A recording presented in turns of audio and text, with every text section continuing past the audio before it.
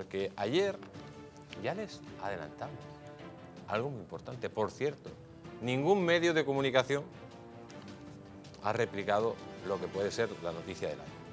El famoso pendrive que Coldo presuntamente le quitó a Ábalos y que posteriormente la UCO en un registro se lo quita a Coldo. Un pendrive que ya le decíamos que, y vamos a decir presuntamente, presuntamente hay vídeos de orgías, de chicas, de emails, de comisiones, de contratos, y que podría estar implicando, implicando a Begoña Gómez y a Pedro Sánchez. Porque hay que recordar, Ábalos tenía relaciones con Aldama, Aldama tenía relaciones con Begoña. Todo está entrelazado. La mujer de Ábalos hacía negocios con Begoña Gómez en Marruecos. Y ojo, que la guerra ya ha empezado. Porque Ábalos, tarde o temprano, en el momento que se baje todos esos gigas, la UCO, y los analice, el juez lo va a imputar. Lo tiene claro que va a ir ante el Supremo. El PSOE quiere parar ahí el caso Begoña Gómez, el caso Mascarillas, con Ábalos. Pero Ábalos está revelado.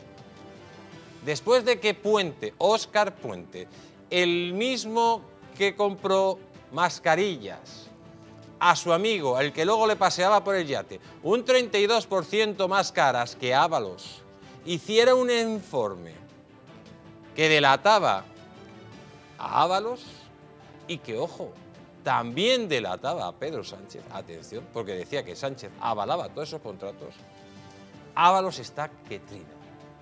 Y lo digo con todas las palabras. De momento está lanzando pequeñas pullas y quiere entrar en el caso, ojo, como afectado en el caso Coldo.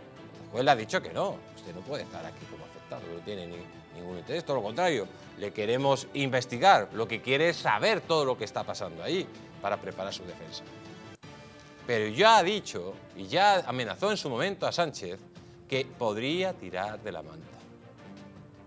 Después de salir pues, sus eh, noticias, su relación con su querida amiga Jessica, cosas filtradas directamente, que ya estaban anunciadas, pero se filtró en los medios por parte de Moncloa, Ábalos está muy dolido. Y ya, lógicamente, es un tipo acorralado. ¿Y qué hace un jabalí acorralado? Pues es más peligroso que nunca. Ojo, que Sánchez está acostumbrado a hacer lo que quiera, pero Ábalos ya le ha lanzado un primer aviso muy importante. Y al igual que su socio, el socio de la trama de, Ábalos, el, el señor Aldama, también. Y en el caso de que él caiga, lo tiene claro, van a negociar con la Fiscalía para tirar de la manta. Y si se tira de la manta, se acabó Pedro Sánchez. Ahora entienden por las prisas que tiene Pedro Sánchez para acabar con el juez peinado. Porque ahí está su cortafuego. Su cortafuego es Ábalos. Pero ojo, Ábalos, al parecer de momento, está sacando la patita y puede tirar de la manta.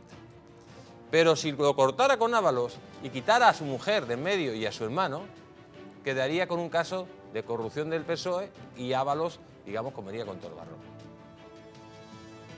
Pero va a pasar esto. Hoy, amigos, han empezado ya a preparar la ley tapabocas. Porque es verdad que aquí hay jueces, jueces respetuosos, como señor Peinado, pero hay otros que, como decía Lola Delgado,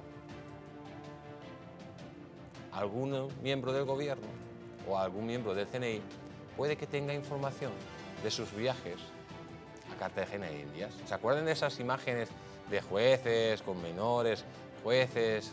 Y a lo mejor el gobierno que puede tener esa información la utiliza para sacar a Begoña del embrollo donde se ha metido.